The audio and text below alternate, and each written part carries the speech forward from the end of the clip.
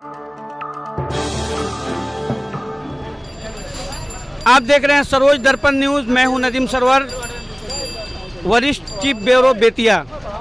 अभी मैं मौजूद हूँ बेतिया के छावनी चौक पे और आप नज़ारा देख सकते हैं, लोगों की भीड़ है और यहाँ कैमरामैन जो है मैं उनको कहूँगा यहाँ दिखाने के लिए। देखिए ट्रक खड़ी हुई है, रास्ते से ट्रक आ रही थी और देखिए कि ये सरकार में बिजली मिस्त्री की कैसी लापरवाही है, ये अब ज़िम्मेदारी बनती है एसडीओ साहब की और जेई साहब की ज़िम्मेदारी बनती है कि देखिए, ट्रक आया और ट्रक में फंसने की वजह से बिजली गिरा है, जिसकी वजह से ड्राइवर बाल बाल बचे हुए हैं। किस तरीके से मतलब खतरा है? आखिर प्रशासन क्या कर रही है?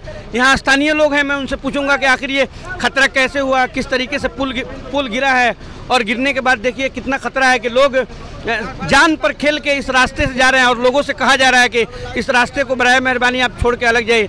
यहाँ स्थानीय लोग हैं, मैं उनसे पूछने की कोशिश करूँगा, जानूँगा स्थानीय लोगों से कि कैसे बिजली गिरी है ट्रक के ऊपर और पूरे ट्रक के अंदर करंट फैल चुका है। और मैं ये सामने देख रहा हूँ कि ये प्रशासन की लापरवाही है कि ऐसे ही कोई बड़ा हादसा हो सकता है प्रशासन ने अगर जल्दी इस पे एक्शन नहीं लिया यहाँ पे लोग हैं मैं इनसे पूछने की कोशिश करूँगा कि कैसे ही हुआ है एक बैग बिजली कैसे ट्रक पे गिर गई है।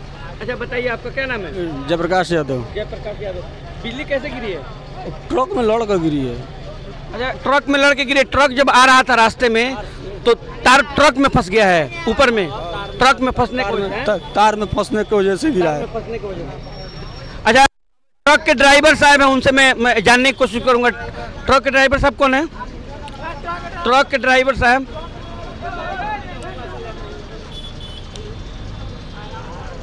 देखिए मैं दिखा रहा हूँ कि एक तरह की लापरवाही है बिजली मिस्त्री और यहाँ अब एसडीओ साहब की ज़िम्मेदारी बनती है। यहाँ ट्रक ड्राइवर भी है हमारे पास देखिए ट्रक के सामने। इधर आप लोग पीछे हटिए आप लोग पीछे हटिए। अच्छा रास्ते से आप आ रहे थे तो रास्ते से आ रहे हैं इसमें करंट है क्या? करंट रास्ते से आ रहे थे। हाँ करंट है इसमें। करंट है। तो लेके आ रहे थे तो कैसे फंस गया इसमें बताइए। वो थोड़ा सा कोर फादा बस गिर गया पोले। पुल ही गिर गया। मतलब बिजली मिस्त्री की ये ज़िम्मेदारी बनती है और ये इन लोगों की लापरवाही है। लापरवाही की वजह से आज आपके ट्रक के ऊपर गिरा है ना। हाँ ट्रक के ऊपर गिर गया। तो देखिए मैं बता रहा हूँ और प्रशासन से मैं आग्रह करूँगा कि अगर हमारी आवाज़ अगर आप तक पहुँच रही है यहाँ के जेई साहब हैं जो एसडीओ साहब हैं ये खतरा एक बना हुआ है लाइव तस्वीर में आपको दिखा रहा हूँ सरोज दर्पण न्यूज़ के माध्यम से कि किस तरीके से लोग यहाँ जमा हुए हैं और ये खतरा बना हुआ है। तो इसीलिए मैं ज़िला प्रशासन के तमाम पदाधिकारियों से मैं आग्रह करूँगा, गुजारिश करूँगा कि यहाँ एक खतरा बना हुआ है पूरे ट्रक के अंदर करंट है और लोगों को इधर से मत जाइए, भाई, आप लोग इधर से मत जाइए, वापस हो जाइए, करंट है इसमें। तो ये एक तरह से दिखाई दे रही है, सरकार आखिर कैसे काम कर रही है, सरकार के पदाधिकारी कैसे काम कर रहे हैं, जेई कैसे काम कर रहे हैं और एसडीओ यहाँ कैसे काम कर रहे हैं कि इस तरीके से ये माहौल बना हुआ है। आप देख रहे हैं बेतिया छावनी जो ये चौक है, छावनी चौक से मैं आपको लाइव तस्वीरें दिखा रहा हूँ कि किस तरीके से मतलब एक हादसा हुआ है हादसे से बच गया है। करंट की वजह से हो सकता है कि गाड़ी में कहीं आग भी लग जाए या किसी को करंट भी लग जाए। अगर हमारी आवाज़ सरोज दर्पण के माध्यम से अगर जेई साहब के पास पहुँच रही है एसडीओ साहब मौजूद हैं अगर पहुँच रही है तो मैं उनसे कहूँगा कि फ़ौरन घट, घटना स्थल पे आए और इनको बनवाने की कोशिश करें वरना बड़ा हादसा हो सकता है। कई लोग करंट के जिद में आ सकते हैं और फंस सकते हैं जिससे बड़ा हादसा हो, हो सकता है।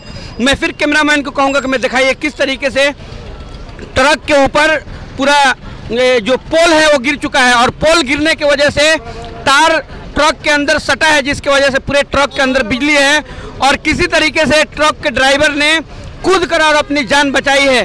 तो ये बड़ी लापरवाही है प्रशासन की। सरकार कहती है कि हर जगह हम हर क्षेत्र में बेहतर काम कर रहे हैं। आप अगर बेहतर काम अगर करते तो ये नज़ारा देखने को नहीं मिलता। ट्रक ड्राइवर की जान भी जा सकती है और यहाँ जितने लोग खड़े हैं, किसी की भी जान जा सकती है, जिस तरीके से माहौल यहाँ पैदा हुआ है। इसीलिए मैं डीएम साहब से और बिजली एसडीओ साहब से और जेई साहब से मैं आग्रह करूँगा कि मेरी आवाज़ अगर आप तक पहुँचे तो जल्द से जल्द एक्शन लीजिए और लोगों को हादसा से बचाइए। आप देख रहे हैं सरोज दर्पण न्यूज़। मैं हूँ नदीम सरवार, वरिष्ठ ब्यूरो चीफ बेतिया। बंद कीजिए बंद कीजिए बंद कीजिए।